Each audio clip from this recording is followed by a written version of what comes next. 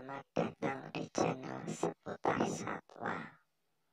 Jangan lupa subscribe, like, komen, dan share.